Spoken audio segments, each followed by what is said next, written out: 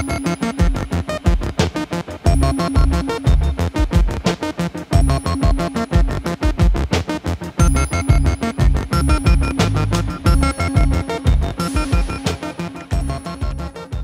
everybody, Terry D-Lab in the shop. Today I have a unique project.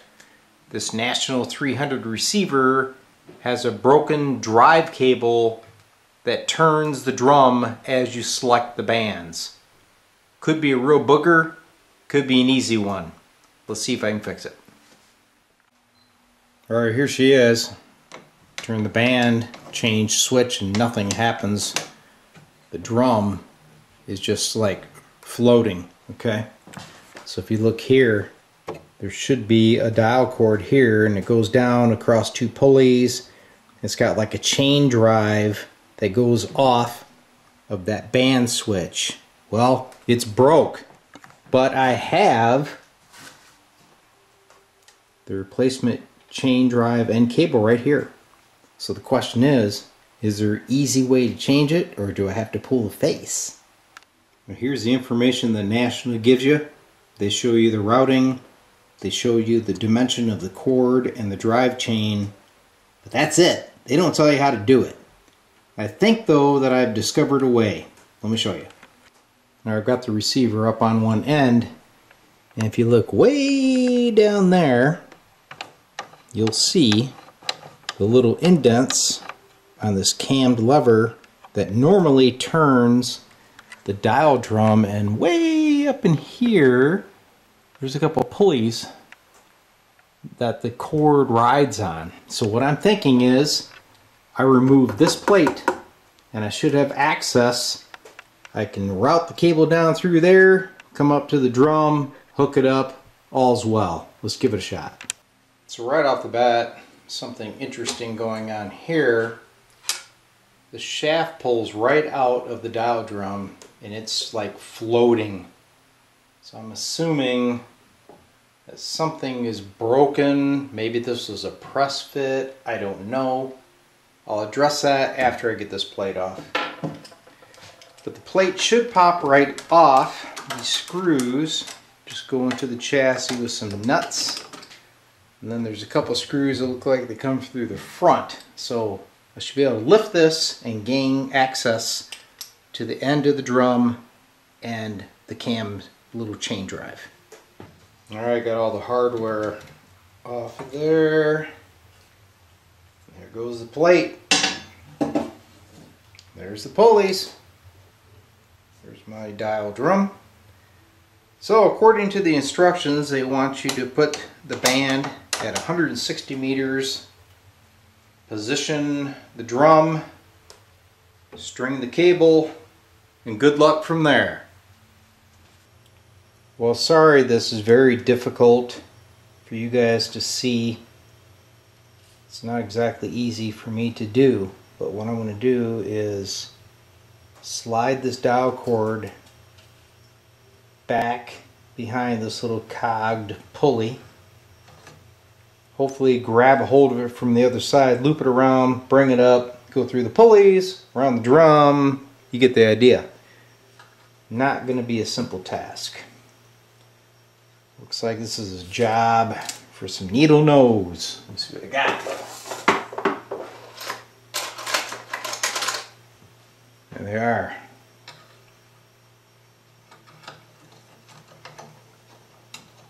So anyway, I'm going to bring it down under this pulley.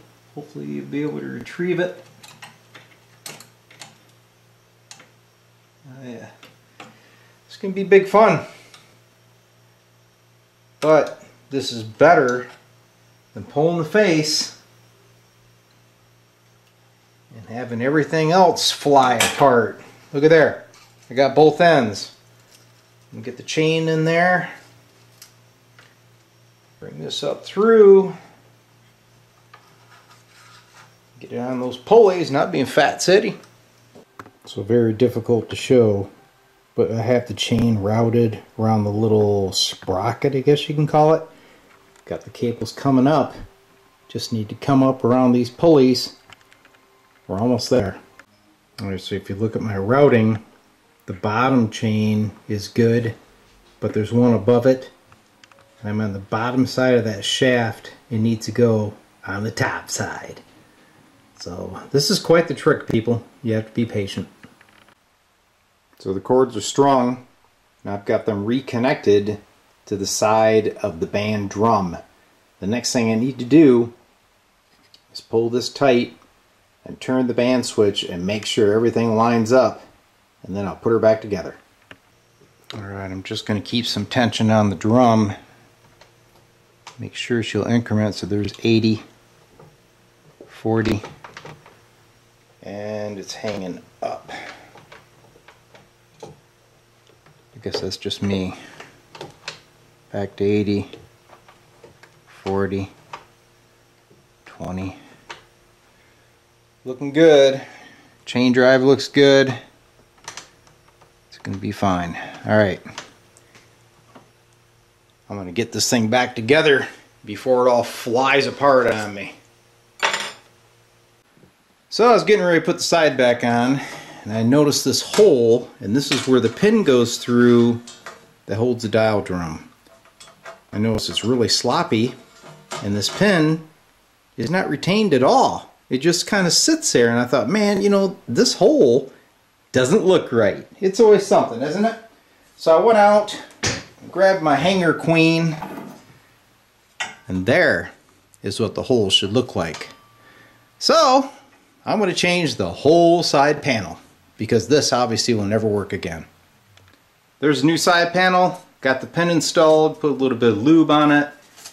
Sorry that I have to shoot this vertically, but I need gravity to kind of help me out with this process because I do not want this thing to let loose on me.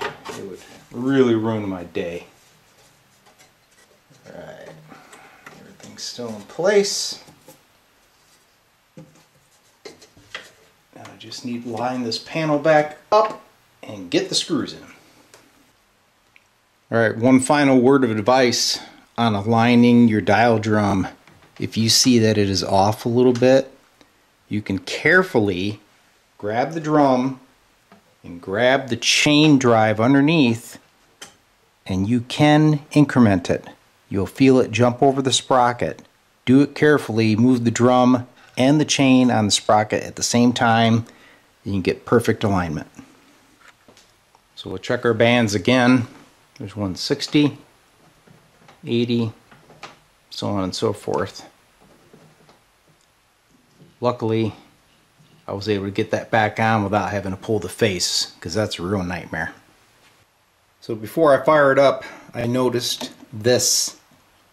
This can was obviously hit at one time. Somebody put a zippity doodah on there to retain it. But I have to fix that because if the terminals underneath are hitting the chassis, it could really do some damage. So I need to investigate that. Alright, well there's that little adjustable can in the back of the radio. I can see what the problem is. There's a nut missing. You just barely see it under the harness there, but the nut's gone and it got hit and this one is actually bent up and it appears to be touching those terminals. I hope it didn't do any damage. So I'm going to repair that first and then we will try power up. Alright, once again, the plot thickens. I thought that that thing straightened out pretty easy. It's because it's actually sheared out of the can and somebody tried some JB Weld. That's probably what the tie strap was holding. So once again, I'll get into my hanger queens. I'll pull that shield and replace it. So they had some little interlocking tabs. The coil itself looks fine. I'll remove this old hardware and go back to the hanger queen and retrieve one. So here's our donor in the hanger queen. Get this one removed carefully. Transfer it onto the other radio. It's always good to have a hanger queen. This one's lovely. It's been around here a long time. I've used a lot of parts off of it. Here we go. Get that in there. I'm going to have to stop and get this positioned, but you get the idea. So in case you're wondering how could that can have gotten damaged? Well, envision you're working on your NC300 upside down, like this. And you didn't use something to prop it up. Guess what it's going to rest on? That IF can. Happens a lot, guys. You got to really be careful when you work on this vintage equipment because most guys don't have a hanger queen around to get parts off of. Alright, so I've resolved that issue. Then I was looking over here in the filter cap area. Isn't that lovely? But I'm not going to worry about that right now. At this point, I just need to get this thing fired up and make sure it receives. And then I'll get in here and take care of the cosmetics. Alright, so I just turned on the receiver and guess what? I have no receive. So, so look at here. Got the special guest star, Emmy the radio tech. Not shortwave girl. Alright Emmy, here's the deal. The NC300 is powered up, but I have absolutely no audio. This should be like hissing right now on the speaker. So I'm going to kill the lights, and you're going to do an inspection and tell me what you see, okay? Alright, so I've killed the lights, so Emmy can give this thing a visual inspection. Obviously, the dial drum's happy, wouldn't you say? Mm-hmm. Looks amazing. Yeah, yeah, ships could see that from the ocean. Alright, give it a look over and tell me if you spot anything. I see some problems with the tube. Some of them seem not glowing. Like which one? This one. Whoa, whoa, whoa, whoa. You spotted that real quick. So go ahead and touch it and tell me if it's warm. It won't hurt you. Warm at all. Okay, the other ones are on Yep, though, right? Yeah. They're all on. Okay, yeah, you don't want to touch the ones that are on. So I'll tell you what. I'm going to shut it off. I'm going to let you put a tube in. We'll try it again, okay? Okay. All right, stand by. So this is Emmy's first tube change. She's never done it. She's seen me do it. All right, Em, let's change out that. And by the way, that is a 6AQ5 audio You have a output 6AQ5? tube. Yeah, I got a spare for you right here. Okay. But I can't give it to you until you pull that out. Get it out of there. There you go. Just want to make sure it's careful. Yep, there's a new one. Boy, those Okay. pins look pretty toasty on that one. Yep. Okay. That seems about right. Uh-huh. Here we go. Get it in. All right. Yep, it's in there. Cool. All right, I'm gonna turn it on, and tell me if you see that one glowing. I'll, I'll kill the light for you. Hold on. No, it's What? not glowing. So I think there is a problem with the radio, not the tube. Ooh. Yeah, we can't have two bad tubes. So what I'm guessing is, is the uh, six volt filament wiring is not getting to that tube, or we have a damaged tube socket. Sometimes if you have a tube socket that's not working well, if you tip it, you'll see the tube light. But this one's not doing it. So, terrible troubleshooting, Emmy. That wasn't the problem. Unfortunately.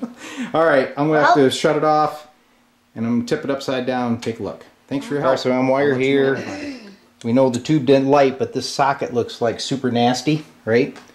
So I'm gonna measure the filament pins, which is three and four, on the meteroid. You come over here, tell me what you see on the meter, because the audience can't see it because of me. What do you got?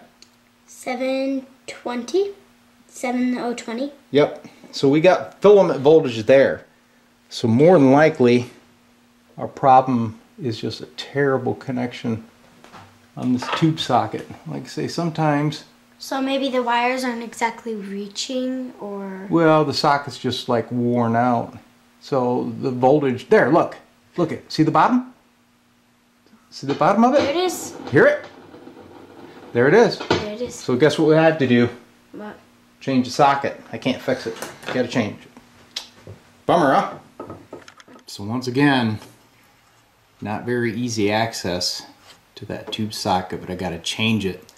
So I think what I'm gonna do is I'm gonna go top side and cut the pop rivets off my Dremel tool and then drop the socket out from the bottom.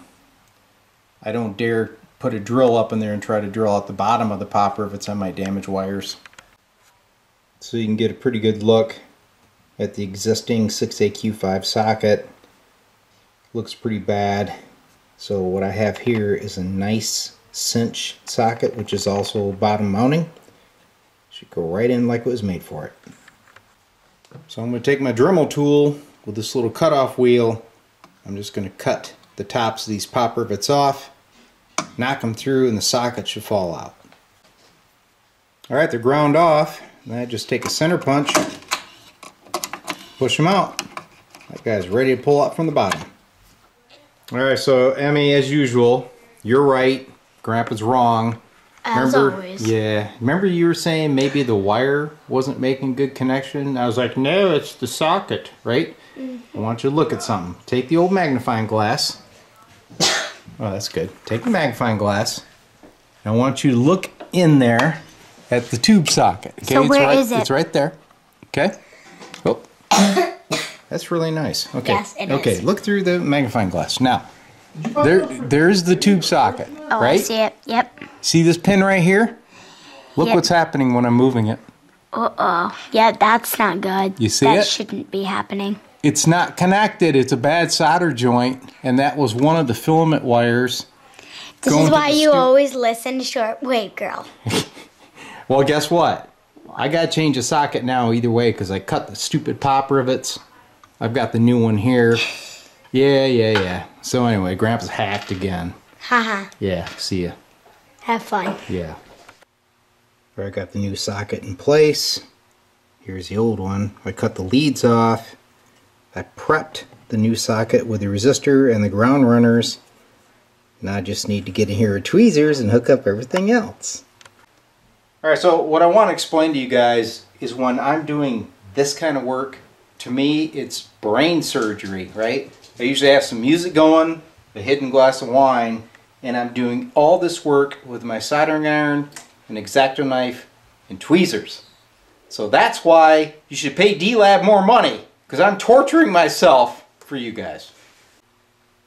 Well, there's the new 6AQ5 socket installed. A little bit of brain surgery. Got shortwave girl in the background making some uh, modulation there, huh, girl? Well, there's our new 7-pin cinch socket for the 6AQ5 tube, which is audio output. So the next question is, do we have any audio? So I've got a jumper wire off the back of the receiver, but right now I'm just looking for white noise. Yep. I think we got us a dirty pot, but we got audio. So the next thing I need to resolve is that filter cap underneath, and then I'll give this thing a full test. So I'm not a big fan of these floating caps. So I'm going to secure that with one of my little D-Lab tube socket filter cap assemblies and get this cleaned up. Well, there's a new D-Lab filter cap installed. Time for final checkout of the NC300. So there's what the new filter capacitor assembly looks like from underneath. So yes, this is a tube socket that is soldered to the base of the old filter cap retainer. And then of course the wires swing onto it. For the cost, you can't beat it. You can build this for about $3 where a filter cap like this would be about 40 Okay, success. Repairing the National 300 receiver. I'm using a Wavetek signal generator right now. Putting out a signal on 27 megahertz exactly. That's where the dial's at. So calibration's good. Now the repairs that I performed on this receiver were not out of the ordinary. I always have these come in here with broken dial cords, bad tubes, bad filter caps, and damage from past maintenance. That's just par for the course. It's like a 1960 receiver. What do you expect?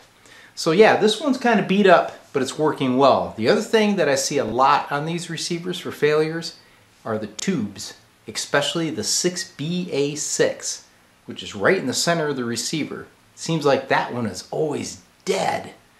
Anyway, if you have one of these and you do maintenance on them, always check the tubes. I at least replaced eight tubes in this radio, but she sprang to life. Good to go again. We'll get ready for a lot more cool repairs, amp builds, ham radio maintenance, D-Lab Electronics for 2020. trying to get back to the basics, have a little fun in the shop, not just work and drink wine. See ya.